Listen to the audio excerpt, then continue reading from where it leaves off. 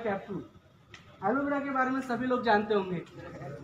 तो एलोवेरा के बारे में बताने की ज़रूरत नहीं है बट वेस्टिज कंपनी ने यहाँ पे लिक्विड में नहीं उतारा है कैप्सूल फॉर्म में उतारा है। लिक्विड में और कैप्सूल फॉर्म में अंतर थोड़ा सा ये है कि एक तो इसको केयर करने की बड़ी दिक्कत होती है लिक्विड वाले में।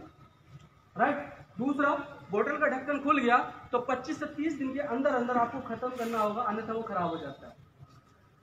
क्योंकि केमिकल के माध्यम से वो रोका जाता है। बट वेस्टिज कंपनी ने यहाँ पे कैप्सूल